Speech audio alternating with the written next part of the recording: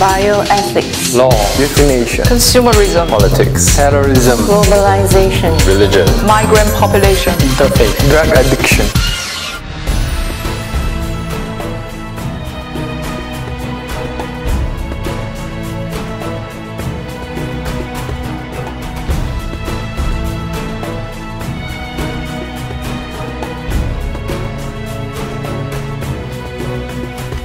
Now, modern science has helped us gain a better understanding of our universe and improve our conditions of living.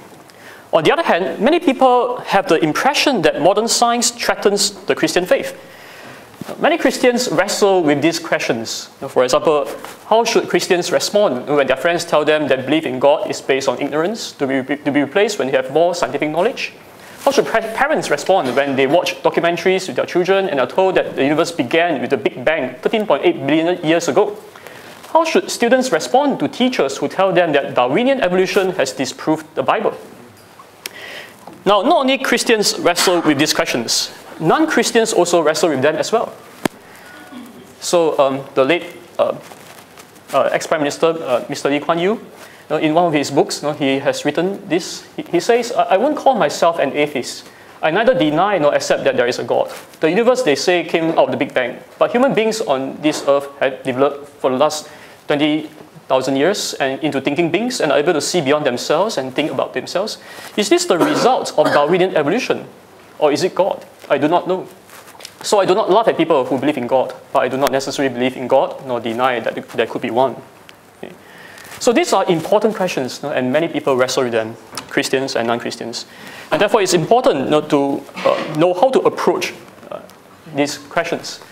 Now, in my book, I um, address these questions in seven chapters. The first chapter concerns different ways of relating science and Christianity. The second chapter talks about is science the only way to knowledge? In chapter 3, I addresses whether belief in God is based on ignorance. And here I answer that it is not based on ignorance, it's based on good reasons. Uh, and these reasons can be expressed in the form of the Kalam cosmological argument, as well as the teleological argument. This, uh, I'll explain this later. Okay? And having shown that there are good reasons to believe in God, I then answer the question whether belief in God hinders the progress of science. Is it the case that, okay, once we know that God created the universe, no, we can stop studying science, no, we really have to answer, and, we don't need to study science anymore? Again, I answer, uh, I answer in the negative. I say that belief in God does not hinder the progress of science. Now, if that's the case, then why is it that um, many people think that there is a conflict between science and Christianity? So we need to learn from the mistakes that Christians have committed in the past. Okay, this I address in chapter 5. And then I uh, conclude this book by addressing two very important issues in co the contemporary debate. The first being the age of the universe and dinosaurs. How, how old is the universe? How old is the earth? Okay? And I also address the controversial issue of creation and evolution. Okay, so this is an overview of my book. Now let's uh, start with chapter 1. Okay, in chapter 1, I address, uh, I introduce uh, different models of relating science and Christianity. The first model can be called the reconciliability model or the, or the conflict model, which basically says that you know, science and Christianity are in conflict. Okay. When science progress, it can replace religion. You, know, you don't need religion anymore. So these are always at war. Okay. This is the warfare model. And the second model is called the independence model, which says that you know, science and religion, science and Christianity, you know, they belong to different realms of knowledge. So science concerns facts, uh, religion, Christianity concerns moral values. You know, they don't overlap, you know, so they are totally separate. Okay, this is the second way of um, uh, thinking about uh, science and Christianity. Now, the third way of thinking about it is called the reconciliation model. Now, this model points out that Christianity does not just talk about morals only, right? The, the Christian Bible also talks about the universe having a creator, Okay, the Christian Bible also says that you know, the universe has a beginning, right? The first verse of, of, the Bible says, "In the beginning, God created heavens and the earth." You know, and the Bible also says that you know the um, God's invisible attributes you know, can be seen you through understanding the creation. Romans chapter one, verse twenty.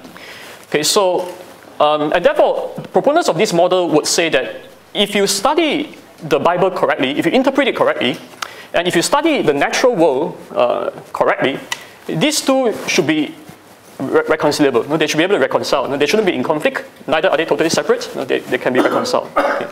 So this is the reconciliation model. Now, I personally hold on to the third model. I think that uh, I hold the reconciliation model. And in my book, I point out that this model, in fact, has been affirmed by some of the greatest scientists in the history of science. Okay. Now, looking all the way back to the rise of modern science, okay, back to, uh, to the 16th century, where Johannes Kepler, you know, the father of modern astronomy, uh, and you have Blaise Pascal, uh, hydrostatics, you know, Robert Boyle, the father of modern chemistry, Isaac Newton, everybody knows about him, you know, father of modern physics. You know, all these uh, who's who of modern science, you know, some of the greatest scientists uh, in, in the world, these people who have contributed greatly to the progress of science, many of these people are devout Christians. They are devout Bible believing Christians. And they do think that science and Christianity can be reconciled. And even today, you know, we have uh, eminent scientists who are Christian. Okay, so, for example, the geneticist Francis Collins, the Cambridge physicist John Polkinghorne, and the Harvard astronomer Owen Gingerich. Okay. so, uh, so we, we um, so I, have given many examples of uh, you know, uh, eminent scientists who are Christians. But we also know that there are eminent scientists today who are not Christians. You know, they are atheists. Okay? So we want to know why, what is the reason why you know, they find it so difficult to believe in God, why they don't believe in God. Okay? So in chapter 2, I address you know, their, their reasons. Okay? Now, when we read their writings, we realize that many of these atheists, you know, they hold to the view that anything that can be known must be known scientifically. Okay? So for them, science is the only way to knowledge. If you, if you want to know anything, you must be able to prove it scientifically. Okay? So this kind of view is called scientism. Okay? Now we must pay attention that to this, the fact that scientism is actually not science. Okay? It's a philosophical view about science. Okay, it's saying that every, everything about nature, uh, everything about reality must be known scientifically. Okay, so it's a philosophical view uh, that relates reality to science. Okay? It's not science itself per se. Now, the word science has a variety of meanings. Uh, according to a wider definition, any discipline within the academy or the university could in principle be called science. Okay, uh, there's, there's, a wider definition. But for those atheists who oppose to religion, people like Richard Dawkins, uh, uh, they typically hold to a narrow definition of science, which is a systematic study of the natural world through observation and experimentation.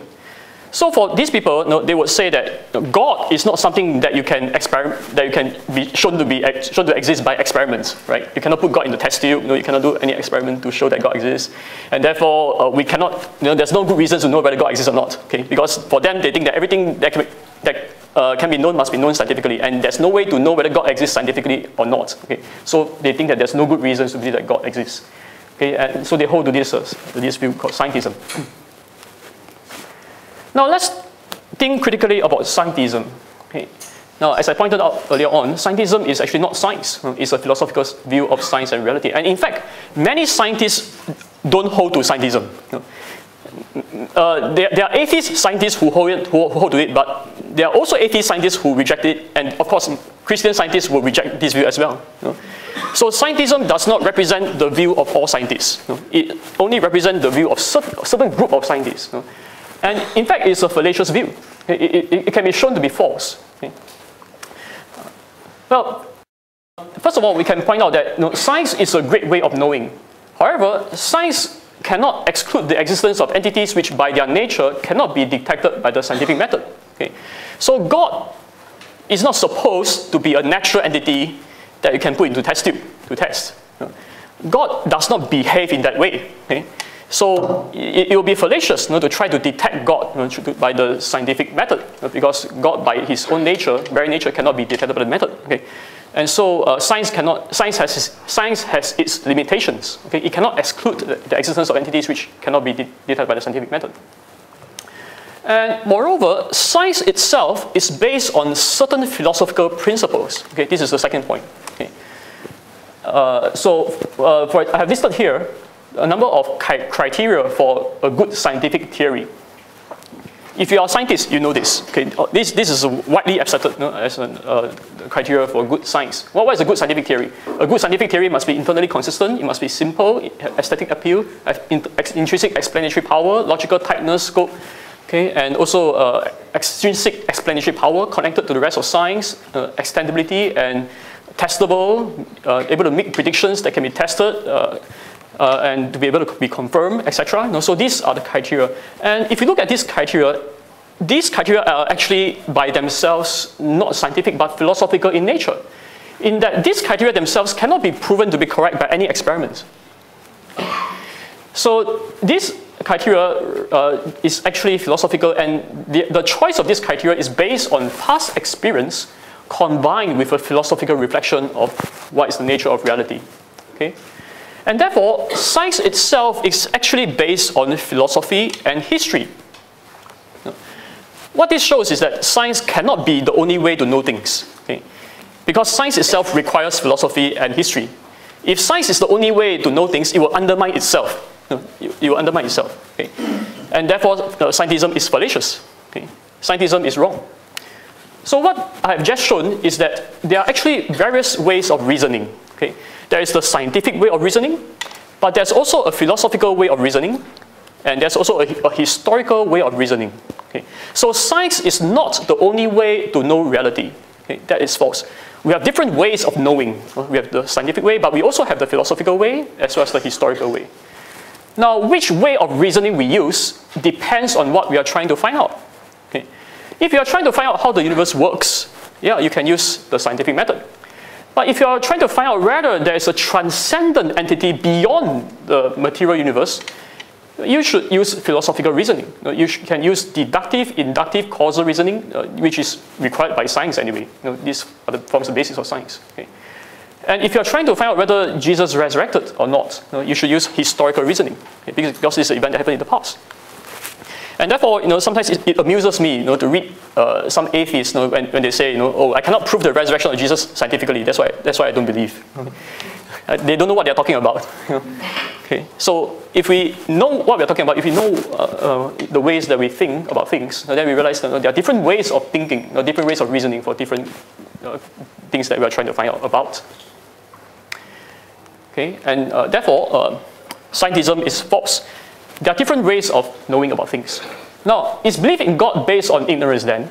Okay. So many atheists today think that you know, belief in God is just based on ignorance. No? Oh, because I don't know how to explain how the universe came about, therefore I say that there's God. Okay. Or because I don't know how to explain how life originated, therefore I say there is a God. That's how they think we think. Okay, that's how they think we think. They think that oh, that's that's what religious believers think. No? It's all based on ignorance because we don't know how, therefore we say it's God. And once we know how, we don't need to believe in God. And that's why they think that when science progress, it will replace God. Okay? That's the, the reasons the atheists uh, frequently gave. Now, is that true? Is belief in God merely based on ignorance? In chapter 3 of my book, I argue that that is not the case. Okay? I argue that they are the uh, belief in God is uh, not based on ignorance, but based on reasons, based on good reasons. And in this uh, little book, I discuss two, um, I discuss two arguments, two reasons for believing in God. The first is the cosmological argument, and the second is the teleological argument. So let me briefly uh, introduce the teleological argument, which is the argument for design, for a designer. Now we can start by observing the universe and ask ourselves these questions. Now why is there order within the galaxies, within the solar system? Now we know that um, the, the, physical bodies in the universe move according to a certain orderly way. Okay? But why is that so? Why, why is there such order? And why is it that this order can be described by elegant and intricate mathematical equations?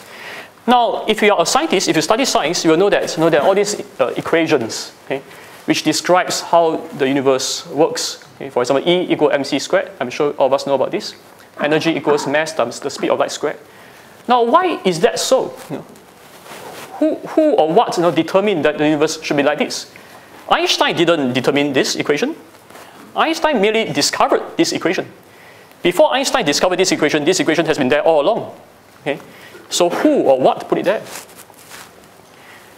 Now, if the universe just came by random chance, then in the words of Einstein himself, we should expect a chaotic world which cannot be grasped by the mind in any way. Even if man proposes the axioms of a scientific theory, the success of such a project presupposes a high degree of ordering in the objective world. And this could not be expected a priori. If the universe is came by chance, then, then it should be totally chaotic. But why is it so ordered? Why is it so intelligent? Why is it so rational? Einstein thinks that that is a miracle. That's a miracle which is being constantly reinforced as our knowledge of science expands. Okay? So this is uh, the, the act of God. Uh, there must be a designer, a creator, who determined that the universe should be like this. Okay. So the argument, argument is that you know, the, the universe does not have to be like this, but why is it like this? Know, why do mindless and unintelligent physical entities consistently behave in such a rational and orderly manner? Know, and the conclusion is that there must be an intelligent designer who determined that the universe should be like this. So these are good reasons to believe that there must be a creator of our universe. There must be a God. Now let me move on quickly to the second argument, which is the cosmological argument. And this argument tries to answer the question, where do everything come from? Where is the ultimate origin of everything? Okay. Now, if you ask me where do I come from, uh, I can tell you that, well, I came from my parents. Okay. And if you ask me where my parents came from, I say that no, they came from my parents' parents, my grandparents. And where do my grandparents came from? No, they came from my great-grandparents. Okay. And you know, small children, they like to ask, uh, where, we keep on asking, right? Where did I come from? Where did I come from? You know, they want to find out the bottom of things. Now, you know, if you keep asking, you know, we, we can go all the way back, okay, to where, where did the first human come from? Where did the first life came from? Where did the Earth come from? Where did the solar system come from? And where did the universe come from? You know, and if, if you say that the universe came from the Big Bang, then where did the Big Bang come from? You can keep on asking that. Okay. And what we want to find out is whether there can be an infinite regress. Okay. Can you keep on asking forever? Can you keep on going into the past forever? Can there be an infinite regress of causes without a beginning? And the answer is no. You cannot have a, there cannot be an infinite regress of causes and effects. Okay? And the, the, the reason, there are, there are many reasons for, for, for why this is impossible. Okay? Let me just share one reason. Okay? One of the reasons why there cannot be an infinite regress of causes and effects is because it is impossible to traverse an actual infinite. Okay? Now, what do I mean by that? So let me illustrate with an example. Now, I have three daughters. Okay? So they are the first generation of my descendants. And if they get married and have children, that will be the second generation of my descendants. Okay? So the number of generations can increase. You know, we can have three generations, four generations, five generations, six generations, but you can never reach an actual infinite. Okay? Because no matter how many generations you have, you have reached, okay, you can still add one more. Right? So if you have reached 1,000 generations, you can still add one more, 1,001. If you have reached 1 billion generations, you can still add one more, 1 billion and one. Okay? So what this shows is that you cannot reach an actual infinite you know, by a sequential uh, process. You know, it is impossible. And since that is the case, we could not have reached the present moment in time from an infinite past. Okay? Because if the past were infinite, we would be required to traverse an actual infinite. But I've already shown that that is not possible. Okay? And therefore, the past could not have been an infinite. The past must have a beginning. Okay? And therefore, there must be a first cause of the universe. Okay?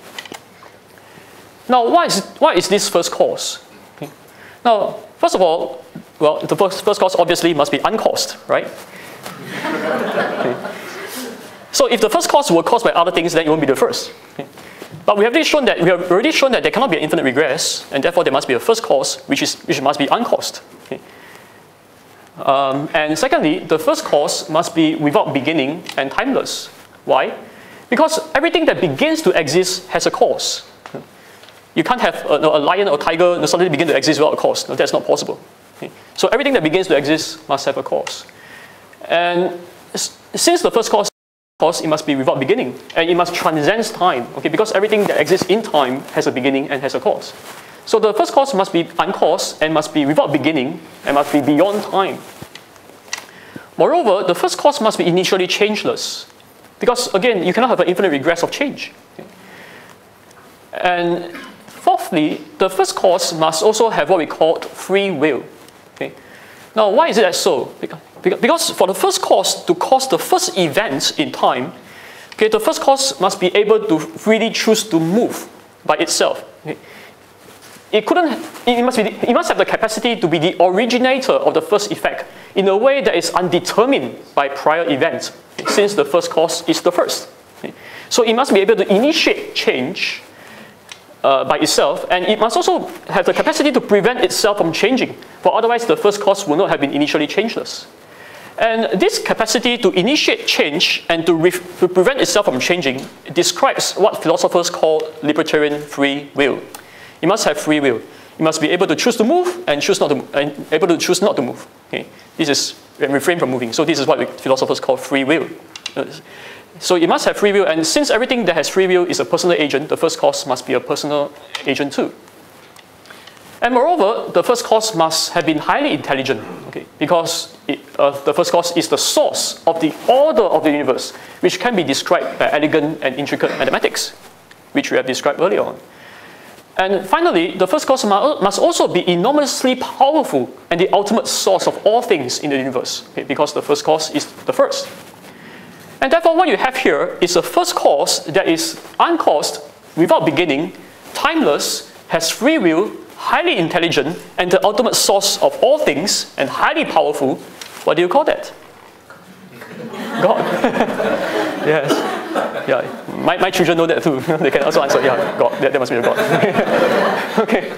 And therefore, a God must exist. There must be a God. No? Uh, a personal creator of the universe must exist. No? Otherwise, the universe wouldn't have existed. No? Otherwise, we wouldn't be here. Okay, to talk about God. And so that, that uh, you know, uh, you, know, you can prove that uh, a God must exist. And since God is the ultimate source of our existence, it is only in Him that we can possibly find the ultimate meaning and purpose of our lives. Okay? So praise God, you know, we can know Him. Okay, now let me go on to talk about chapter 4 of my book. Now, I've already shown that there are very good reasons to believe that there must be a God. Now, does belief, that, does belief in God hinder the progress of science? Okay? And the answer is no. Okay? Why? Because we can treat science as a discovery of the processes by which the Creator created the universe and how created things operate. Okay? So, believing that, that there's a Creator to the universe does not hinder us from studying how the universe works.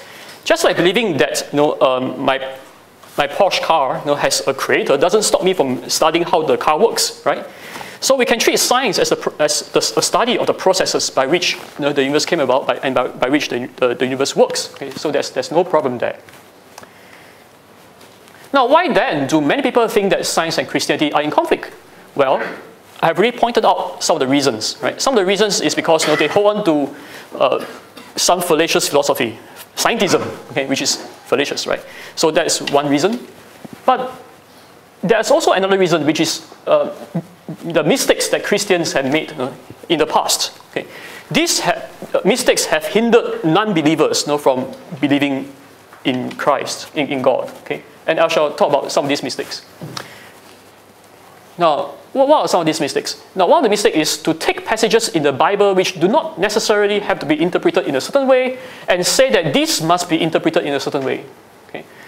Now, we need to understand that all texts need to be interpreted, okay? and the Bible is no exception. Okay? And throughout history, theologians have recognized different kinds of meaning in the Bible literal, metaphorical, allegorical, symbolic, uh, accommodation to common way of thinking, expressions, uh, etc. Now, it's interesting to note that the third century Bible exegete, okay, Origen, he said this uh, in the third century before the rise of modern science. He says that for who has that has understanding will suppose that the first, second, and third day and the evening or morning of Genesis chapter 1 existed without, without the sun and the moon and the stars. And the first day as, was, as it were, also without a sky. And if God is said to walk in paradise in the evening, in Genesis chapter 3, and Adam to hide himself under a tree, I do not suppose that anyone doubts that these things figuratively indicate certain mysteries, the history having taken place in appearance and not literally. That is to say, you know, biblical passages in Genesis chapter 1 and 3, for example, those passages that says that you know, God walk, walk, right, walk in the cool of the day. Okay. We are not supposing that God really have two legs, right, and that he walked in the garden.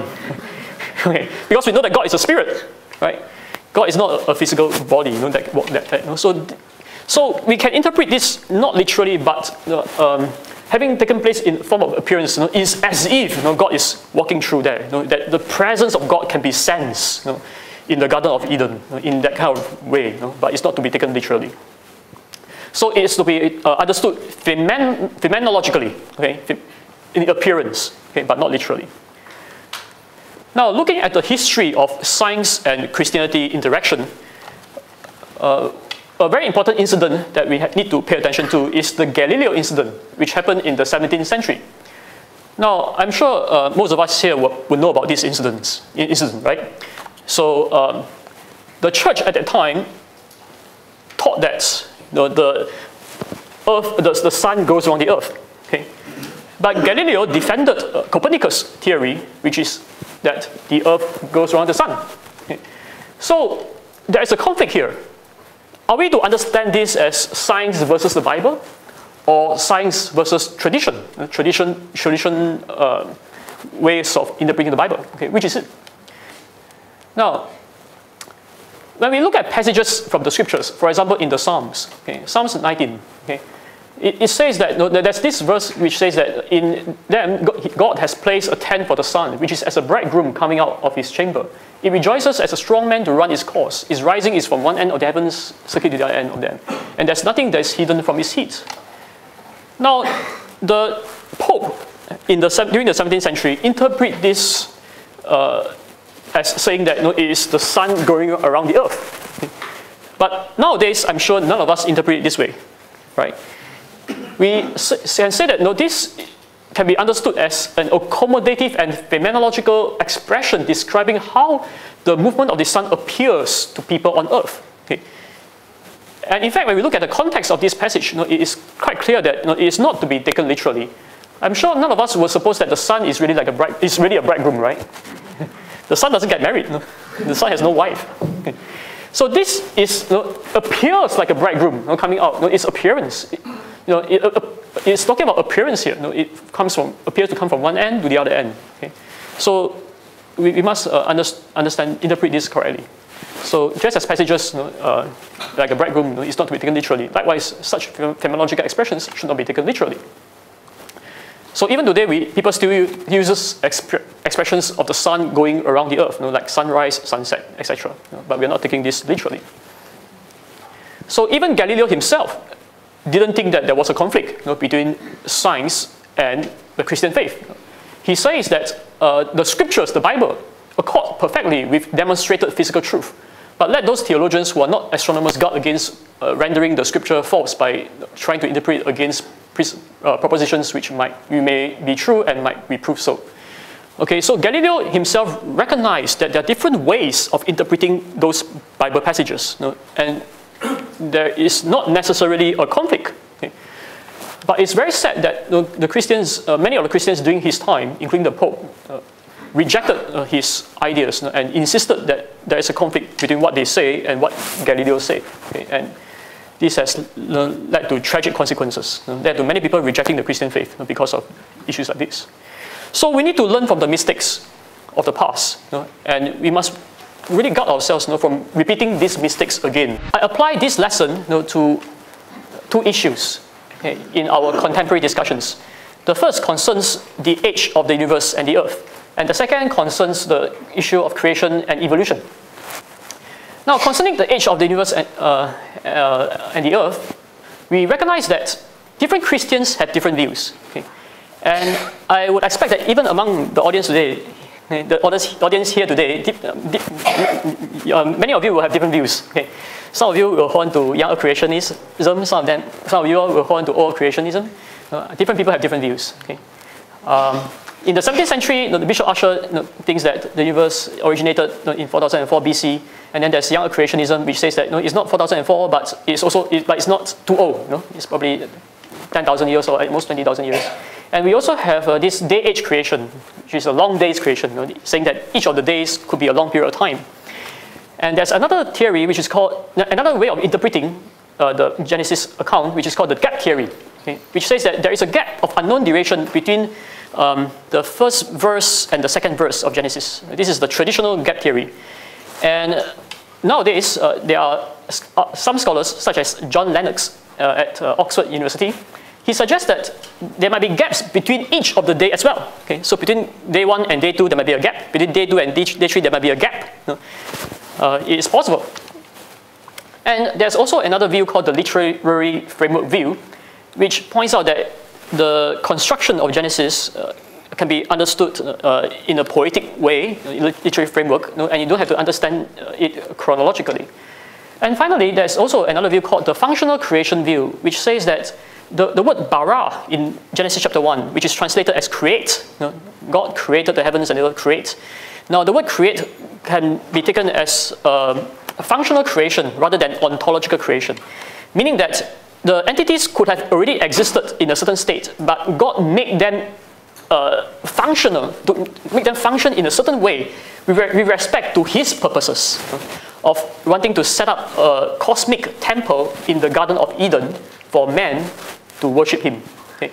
So this passage has to be understood in that way, in the light of God's uh, greater purposes, and that's how He interprets the word uh, creation, create. Okay, uh, in Genesis chapter one to three. So I, I wouldn't have t- I, I I don't have the time to explain these views in detail. Okay, you can check out this uh, little book okay, which explains them. But I just want to highlight the fact that you know, different Christians have different views about this. Okay, and we shouldn't be dogmatic about this. No, we shouldn't say, oh, it must be interpreted this way. Know. Um, because the fact that the fact is that it doesn't have to be interpreted in a certain way, know. and we must be careful of the mistakes that Christians have made in the past. know. Uh, which is to say that, which is you know, to insist that a passage has to be interpreted in a certain way, in a certain way when it doesn't have to be interpreted in a certain way. So we have to be very careful about that. Okay, to learn this mistake, in order not to cause any stumbling block you know, to people trying to you know, uh, come to know more about uh, Christianity. Okay. Now, a very important point that we need to pay attention to is that Genesis chapter 1 to 3 is not intended to be a complete account of everything about creation. Okay? For example, why was the earth formless and void near the beginning of chapter 1 in verse 2? Okay? The Bible itself actually does not say. No, Genesis chapter 1 to 3 does not tell us why is it that the earth was formless and void. Now, in, in the original Hebrew, formless and void means you know, um, to be functionless, you know, without function, you know, not fruitful. So it is not a desirable state. okay. But why was the earth like that? Would God have created a fruitfulness, uh, unfruitful earth, a, a functionless earth? Or could there have been some events that took place before that? Okay, maybe the, the fall of the angels. You know? um, that, that could be possible. I'm not saying that it must be uh, that way, but it could be possible. You know? But uh, whatever the case, the Bible doesn't really tell us okay, in the opening chapters of Genesis. And again, why was the snake evil? Okay. Now, the snake appeared in chapter 3. Uh, and now we know that the snake symbolizes the devil, Satan. Okay.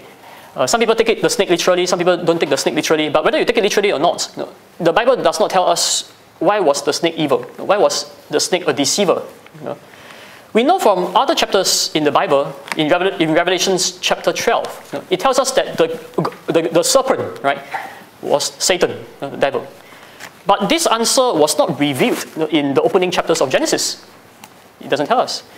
So within the text of the scriptures itself, we can uh, we, we, we notice that you know, Genesis chapter 1 to 3 is not intended to, to be a complete account of everything. And, that, and, and therefore, uh, concerning the details of how God created the, universe, for example, how much time He actually took, different interpretations are possible. You know, there um, and different gaps are possible. You know, there, there could be gaps you know, in between the, the verses or the days. You know, these are all possible because the, it's not a complete account of everything. But these different interpretations uh, do not affect the main message of the text, which is that God is the creator, uh, and that He was behind each step of creation. And thus, humans should not worship created things. We shouldn't worship the sun, the moon, the stars, because these things are not gods. These things are made by God. And we should worship the Creator Himself, because He alone deserves to be worshipped. And He also has a special plan for humanity. Okay? So, this is the main message, the core message of the opening chapters of Genesis. And we can understand them perfectly well okay, without having to, you know, to um, bother too much about how, how long does God take, you know, all this, because those are not the main, those are not the main message of the text. Okay? So uh, different interpretations of Genesis 1 does not affect us understanding the main message of the text. Now, uh, finally, I ended my, I end my book by discussing about creation and evolution. Now, this is a highly controversial issue. Okay? It's very hot, uh, it's uh, hotly debated you know, in many parts of the world today. Because some Christians do believe that God could have created uh, biological life using the process of evolution. Okay? Now, in order to understand why that is so, we need to understand that the word evolve, evolution, uh, these words can have different meanings. Okay? Now, it, it can mean biological change over time, which nobody denies. No, there is definitely biological change over time. It can also mean the life forms today came from earlier ones. It can also mean genetic variation and natural selection, okay? which is uh, commonly called microevolution. So the fact that there's some adaptation going on you know, in species. Now again, this nobody denies, right? We all agree that there are some adaptive changes okay, in living organisms in, uh, involving the process of genetic variation and natural selection. Now what is controversial is the fourth and the fifth point. Okay? The fourth meaning of the term is uh, referring to the process involving the mechanisms of genetic variation and natural selection by which the present diversity of plant and animal life arose from a common ancestor, from a simple life form uh, uh, evolves uh, and results in the present diversity of life forms. Okay. So this is known as uh, uh, macroevolution. And then there is also what is called naturalistic evolution or atheistic evolution which is the view that the universe and all life came about without God. Okay. Now, it is important to note the distinction between 4 and 5. Okay. Because many people today think that evolution equals to atheism. Uh, many people think uh, that that is the case. But actually, that is not the case. Okay. Because there's a difference between 4 and 5, which we need, we need to pay attention to.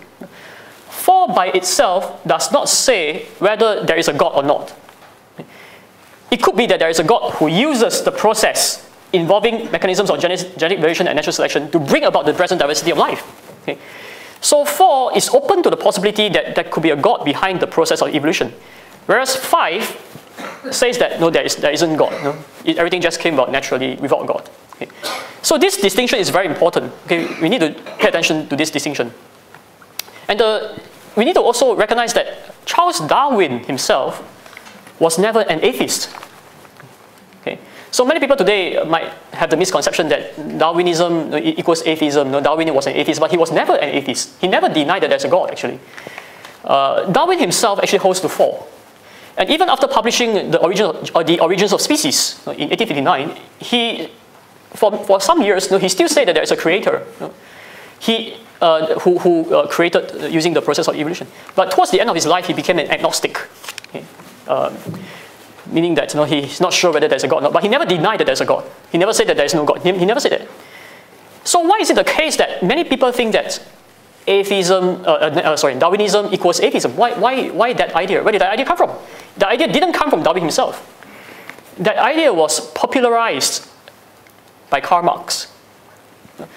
Karl Marx uses used the Darwinian evolution to, support his materialistic philosophy, uh, his uh, uh, communist ideas. Uh, and that uh, has huge impact on the world. It, it, spread to the Russia, it spread to China, and therefore many people, many, many people in mainland China think that no, there's no God. Evolution has shown that there's no God. But actually all these are misconceptions. The theory of evolution by itself does not say that. Okay, okay so we need to pay attention to this uh, distinction. now, so concerning four, whether there is a God behind, no, uh, concerning four, um, different Christians have different views. Okay? So some Christians would disagree, would say that we are not open to the idea of God using evolution to create. Okay, so some Christians have held this view, uh, including uh, those scientists at the Discovery Institute, uh, Stephen Meyer, and also uh, Hugh Ross, uh, who uh, set up the organization called the Reasons to Believe. They argue that there's insufficient evidence for macroevolution. They, they argue that know, are, there's a lack of transitional fossils. So um, what they are trying to say is that if all the present day life forms come, came from a common ancestor, we should see many transitional life forms in between the simple life form and the complex life forms. But we, when we look at the fossil record, we find that there's actually a lot of missing links, missing gaps. Okay? and therefore no, they reject this. Okay. Uh, and this uh, lack of transitional fossils is uh, very evident during what is called the Cambrian explosion, which is uh, between 570 to 530 million years ago. Now, however, there are other Christians who would say that 4 okay, merely describes a process which God could use, to, to- could choose to use to, to create various life forms. And these Christians include such eminent theologians as Benjamin Warfield, who, by the way, is the father of modern day fundamentalism, interestingly. Because we know that modern day fundamentalist Christians reject evolution very staunchly. But Benjamin Warfield himself was open to evolution. Okay? Uh, he defended the inerrancy of Scripture very passionately. And in, more recent times, we have C.S. Lewis, whom I'm sure all of you know, know, the most, one of the most popular Christian writers and apologists. And uh, John Stott, you know, one of the most eminent uh, biblical scholar, uh, Alister McGrath, J.I. Packer, John Walton, N.T. Wright, uh, Tim Keller. William Lane Craig is open to the possibility of evolution too. You know, he says that on theological grounds, it is possible, although he himself is skeptical about evolution on scientific grounds. okay, but that's a different issue. okay. But on theological ground, he thinks that yeah, it's possible. God could have chosen to uh, do that. And we have uh, big denominations like the United Presbyterian Church, Lutheran World Federation, uh, uh, and also the, uh, the Roman Catholic Church. You know, they accepted the, that, the idea that God could choose to use evolution to create various life forms. Now, we need to understand what, what are the reasons why these Christians say that. Okay? And the reason is, okay, we, first of all, we need to note that there are different levels of explanations. Okay? So, for example, when we read the Psalms, uh, for example, Psalm 139, verse 13, which says that for you, God, form my inward parts. You wove me in my mother's womb. Okay? Now, when we read passages like this, you know, and we think about you know, modern um, embryology, which has sh- shown to us you know, how uh, the embryo can be formed by a process which involves you know, the genes. yeah. Now, the discovery of the scientific process of uh, embryology does not contradict this verse. Why? Because we can say that the discovery of this process is uh, merely discovering the process by which God used to form the embryo. Okay. Okay, so there are different levels of explanation. Okay, there's the scientific level, but there's, there's also a, a, level that's beyond that, which is you know, what, what caused science, right? What, what caused those natural laws? Who created the DNA? You know, where did the universe come from? Why, why, why does the, the nature work, work in this way? Okay, so we can say that God set up the laws of nature and use these laws to bring about the embryo, you know, different kind of life. Okay, so there are dif- different levels of explanation. And it's interesting to note that the Hebrew words, the same Hebrew words, yatzar and asa, okay, which is translated as create, made, you know, formed okay, in the Genesis. These words, which describe the nine-month-long process of development from two single cells, okay, the sperm and the egg, into a fully formed human being, are used to describe the earth creation of different types of animals as well, okay, in, direction, in direct response to God's command. In other words, in the emergence of plant and animal life through earth history, we find the same general trajectory as the formation of an embryo in the womb. First single cells, then multicellularity, and then more complex organisms. The exact same Hebrew words asa and yasa that describes God's forming of embryos in the womb and God's forming of plant and animal life are used to describe God's forming of the human species. And therefore, the use of these words implies, or at least does not rule out, that God forming humankind was a process and not an instantaneous event. Okay? Because we know that the creation of the embryo was not an instantaneous event, right? It take nine months okay, for an embryo to form. Okay? And therefore, the creation of life forms and human beings you know, can also be a process. You know, it does not have to be, you know, God created it. It doesn't have to be like that. Okay? It could be a, a, a process as well. The same Hebrew words are used. Okay, so this is uh, very important to take notes. And so, um, know, when we look at this process, the Old Testament scholar Bruce Waltke observes that Genesis is concerned with ultimate cause, the ultimate level of explanation, which is God. You know, God is behind the order of the universe. No? he's the ultimate cause, first cause of everything. Okay, so when the psalmist says, God knit me together in my mother's womb, in Psalm 113, verse 13, 139, verse 13, the psalmist is not intending to comment on genetics or intermediate cause. Okay? And likewise, in Genesis, the narrator only tells us that God commands the earth to bring forth life. Okay? He does not explain how that bringing forth occurs. So this is a very important theological point that we need to take note of. And so, I'm sure we can all accept this. Okay? Uh, But why, so why not accept this? Okay? Okay. Now, it is, it is because of these reasons that Benjamin Warfield, okay, the father of modern fundamentalism, say that there's no question as to the compatibility of Darwinian form of evolution, uh, of evolution with Christianity. He thinks that it's perfectly compatible. And what this implies is that Christians can believe in evolution. Okay. In fact, I have already highlighted many examples of Christians who do believe in evolution, right? Uh, C.S. Lewis, you know, um, Tim Keller, you know, uh, all these people. So Christians can believe in evolution, but they don't have to. Okay? If you don't believe, that's fine. Okay? We are not going to force you. To, your pastor is not going to force you to believe in evolution. Uh, you, can, you can have the freedom to believe or the freedom not to believe. Okay? Uh, I think Christians can have the liberty at this point. Okay, so with regards to the creation of humans, now, you know, some people are troubled by the idea of human beings coming about, coming about by the evolution process. But we need to pay closer attention to the biblical text, okay, to Genesis chapter 1, in order to understand what is a human. According to Genesis chapter 1, verse 26 27, it tells us that the humans are created in the image of God. Okay? And it's crucial to understand what is meant by this. What does the image of God means? Okay? Now, we mustn't go away with the idea that the image of God refers to a physical body. Okay? Because God is not a physical body. God is a spirit. Okay? So where the body comes from is not important actually. Whether, the, whether our physical body came by the process of evolution or whether it doesn't came from a, it didn't come from the process of evolution, that is not the crucial issue. Okay? The crucial issue is our spirit, our soul. God is a spirit. The image must be referring to the spiritual aspect rather than the bodily aspect of human. And what the image of God actually means is that humans are created to be representatives of God, you know, to represent God, to rule the earth, you know, to subdue the earth you know, in, in, the, in the place of God, you know, to, to, to be uh, the vice regent of God, you know, to govern the world. You know, that is what the image of God means you know, in the Genesis text. Okay, so um, to represent God, you know, to have this uh, spiritual capacity uh, for that kind of work. So it doesn't refer to the body, it refers to the spiritual aspect of the human. Now, Genesis chapter 2, verse 7 says that you know, God formed the man of dust from the ground. Okay.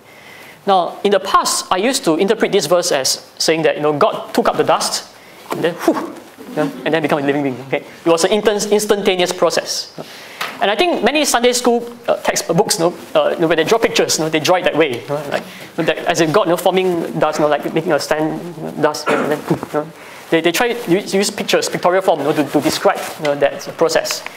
But actually, you know, this, this kind of description, you know, God forming the dust and then poof, instantaneous, this kind of description, this kind of pictures is not what the Bible says.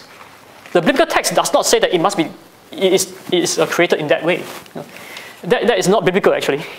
Because when we look at the Bible, um, first of all, we understand that dust from the ground refers to the composition of the body, okay, not the process by which it's formed. And the word form, I mentioned earlier on, uh, in the original Hebrew, yatsa, okay? yatsa, which, as I explained earlier on, can refer to a process. It doesn't have to be an instantaneous event. It could be a long, it could be a process. How long we don't know, but it could be a process. Okay? So whatever the case, you know, the word yaza does not specify the process of formation. So it could be evolu- it, could be evolution, it could be not evolution, we don't know. But it's open to the possibility of evolution. It is not, it doesn't reject the possibility.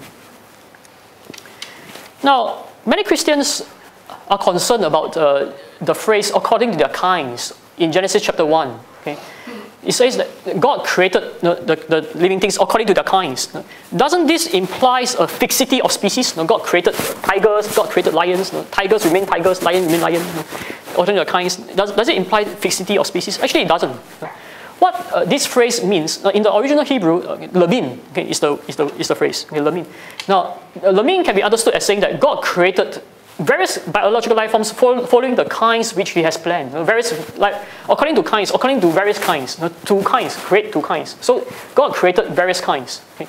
So the Old Testament scholar Richard Hess at Denver Seminary, you know, he says that this phrase you know, simply say that God created various biological life forms, but it does, it does not specify the process of creation, nor does it exclude the possibility that God could allow certain creatures of a particular kind to evolve into another kind, so, so as to bring about various kinds of creatures which He has planned.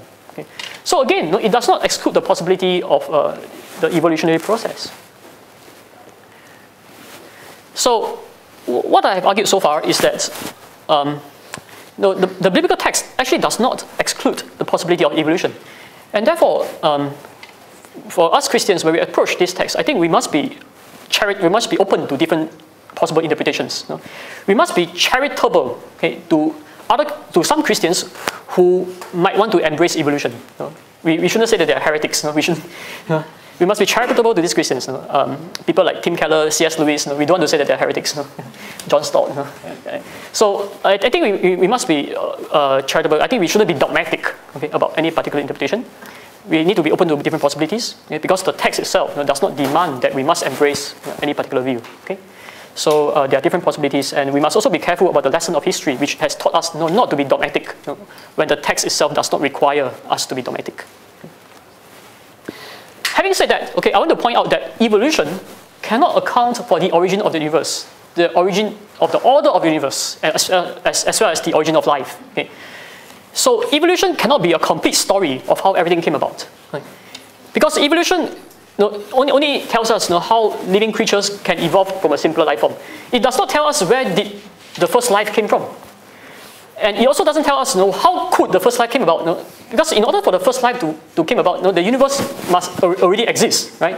And the universe must have certain order okay, in order for natural selection to be even possible. Where did that order come from? Where did the universe come from? So we are back to the issue of first cause. You know, where did everything come from? And I've already shown that there are good reasons to believe that there must be a first cause who is an uncaused, beginningless, timeless creator. Okay, so whether you, so whether someone accepts evolution or not, he cannot escape from the conclusion that there must be a creator of the universe, and who also designed the laws of the universe uh, in order for life to be possible in this universe. Okay. So the conclusion of a creator cannot be avoided by evolutionary theories. Okay. So whether there is evolution or not, there must be a God. Okay, there must be a God. Okay, that, that's the point. Okay. And in fact, the origin of life is such a huge problem you know, for naturalistic evolution uh, that Antony Flew, who was one of the most eminent atheist philosopher of the 20th century, know, for 40 over years, you know, he tell students all around the world that there is no God. There's no God. Okay? But in 2005, you know, he changed his mind. You know, and he says that, yeah, okay, I finally come to believe that there must be a God. and the reason why is because you know, he, he chose to pay closer attention to the issue of the origin of life. Where did the first DNA come from? Where did the first functional DNA come from?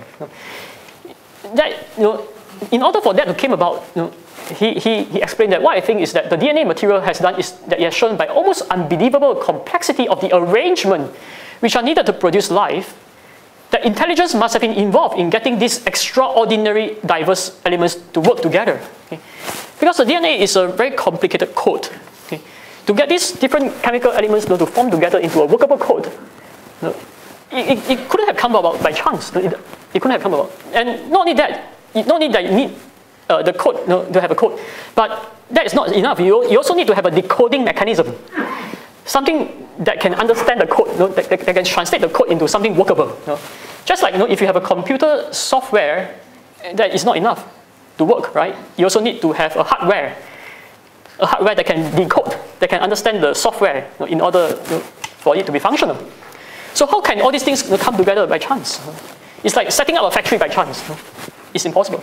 It, it couldn't have occurred uh, naturalistically. And therefore, uh, Antony Flew, you know, uh, because of uh, the evidence of this, you know, he has chosen to believe that, you know, the, uh, um, believe that, there must be a designer, there must be a creator to bring these elements together.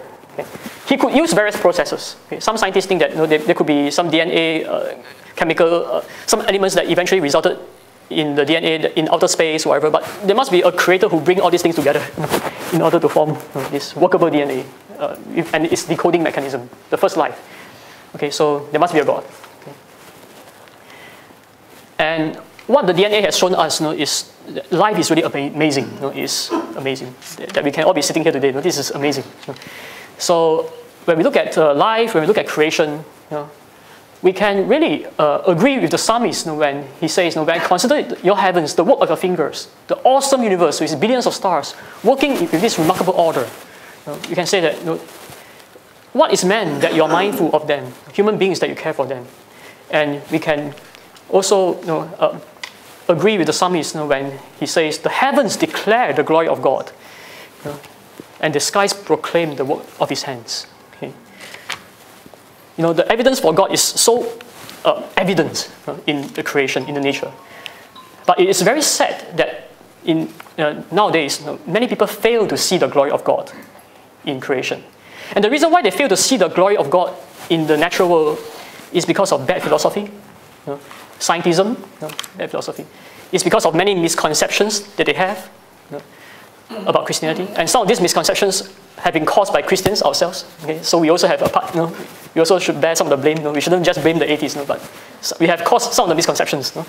Um, by you know spreading pseudoscience, you know, by telling people, oh, you know, you must believe in six days, uh, six literal days, uh, as in six 24-hour days, you know, that kind of thing.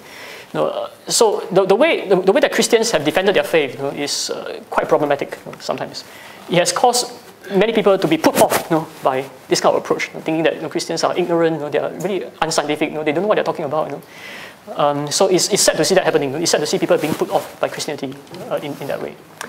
Um, so what I pray is that you know, my book will help okay, to clear away some of this bad philosophical thinking, you know, some of these misconceptions, clear away these obstacles, so that um, more Christians can be strengthened in their faith, and that more people can come to see the glory of God, which is manifested in creation, and to embrace Jesus Christ as their Lord and as their Savior. Thank you.